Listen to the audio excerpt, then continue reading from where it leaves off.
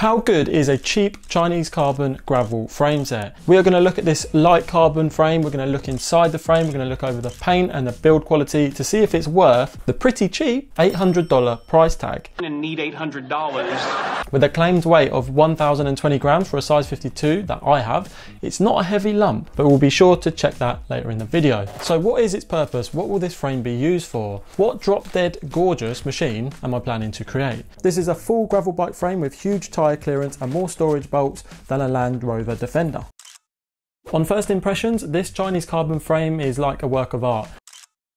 Made from high modulus Toray T700 carbon fibre, it really does pop like a champagne cork under the lights. With LightCarbon, you don't just pick a color, you can send them examples of frames you like and they can suggest a color code for you. It's like having a personal bike frame stylist only without the price tag because this custom paint job only cost $150. Everything appears to be finished to a high standard, including the integrated bar and stem combo as well as the seat post. But what's on the surface is superficial, especially if beneath the surface lie some hidden secrets. Despite the looks, I need this frame to be robust because I'm going to be going off-road, which means tree roots, countless potholes, and the odd backflip tail whip. In my dreams, I'm not Matt Jones.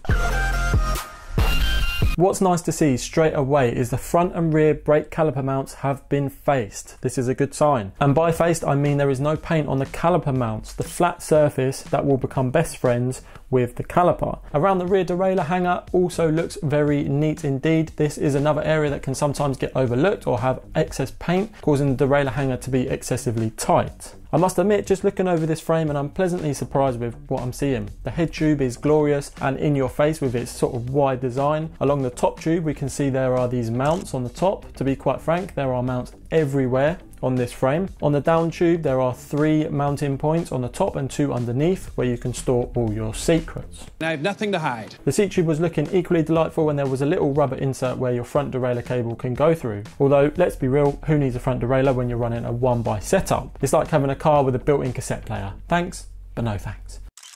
But for all you lycra wearing rascals out there who just can't get enough of 22 or more gears, fear not, the braze-on mount for the front derailleur looks solid as a rock.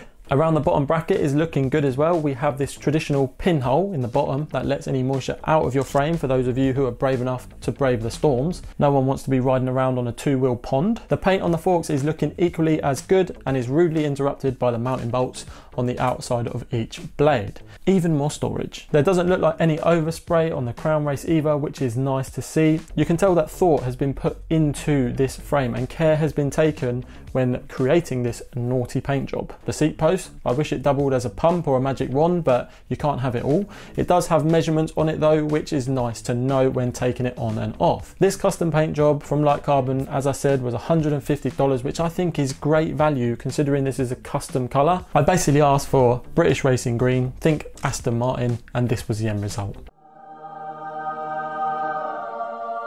Let's take a look at the bottom bracket, the powerhouse of the bike that requires Herculean strength to handle those massive amounts of power that I'll be generating whenever I figure out how to generate that power that is. And let's not forget about precision because the press fit BB86 bearings need to fit like a glove. So let's grab the trusty vernier caliper and see what it has to offer. On the left side of the bottom bracket, the first measurement was 40.7, then 40.6, 41 and 40.3.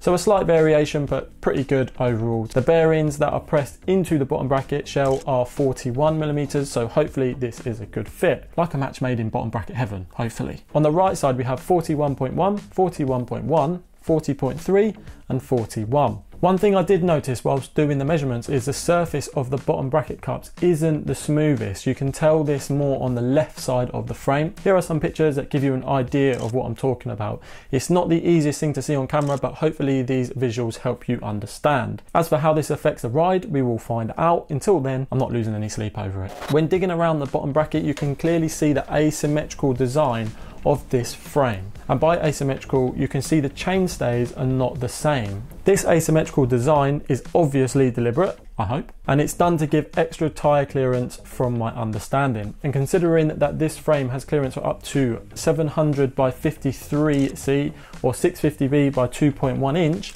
I think they've done a pretty good job. I'd like to get some big phat, with a P, tyres to really tackle the crustier winter weather here in the UK. Meticulously designed experiment. Now with this frame design, if you use a single chainring, the max size is 42 tooth, if you are using a double chainring, the max size is 54 by 42 teeth. Let's have a look at the headset bearings. We know the head tube is one and a half inch with 52 mil upper and lower bearings. I always like to check the fitment of the bearing and on the top, it was a pretty easy fit. There wasn't any play with the bearing in place, which is the main thing. With the caliper, we measured 52.2, 52.3, 52.3, and 52.3. So slightly bigger than the 52 mil bearing that is going to be in there, but all very similar measurements. We then rotated the frame 180 like a backflip to get a better look at the bottom headset cup. When placing the bearings in, it was much tighter than the top bearing, and again, there was no play. The measurements were 52.3, 52.3, 52.2 and 52.1. So all very similar, which is good to see. Not bad overall, my friends. Now the handlebars are fully integrated and they work nicely with the frame. As you can see, we have these rubber grommets in the bars, which can be removed, which then gives you two ways to route the cables, which is a nice touch because if you have seen my previous videos,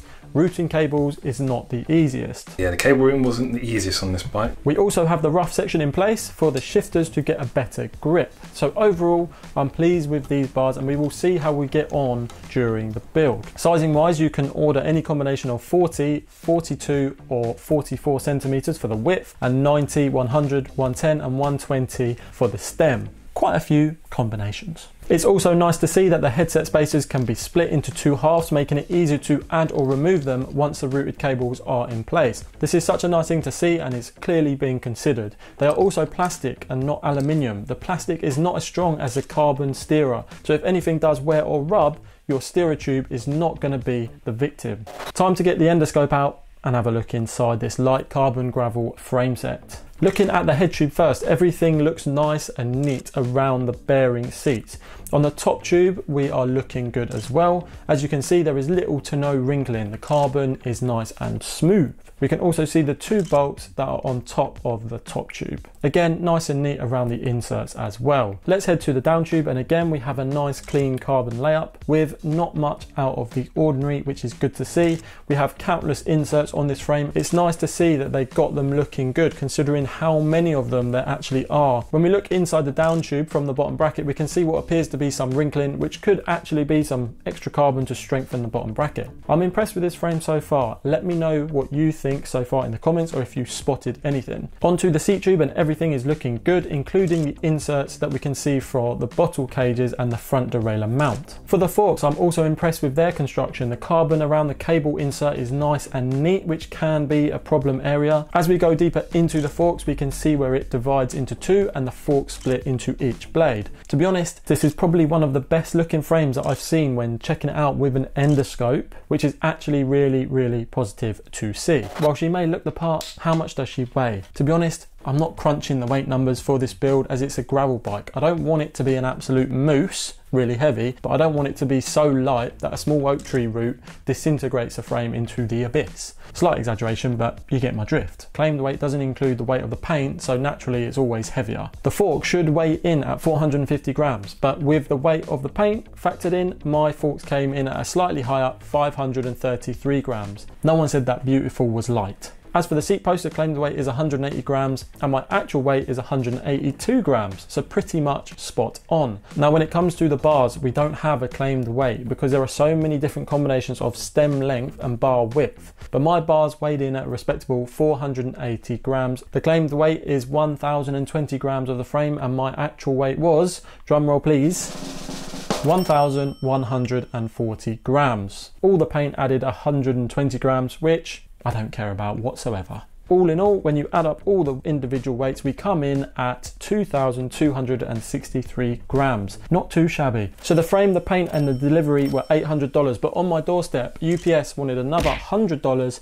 in import tax. I guess that's just one of those things that can happen when you're buying direct from Asia. I did have wheels as well, so it was a big package, so I'm not sure if that affected things. Do subscribe to see a review of the Pro X wheels which came with this frame. This video shows you a full build process using a Chinese carbon race bike frame.